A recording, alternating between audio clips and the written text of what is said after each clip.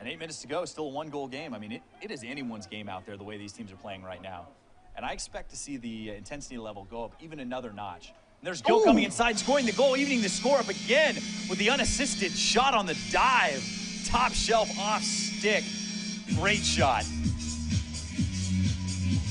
Graham Gill just has a knack.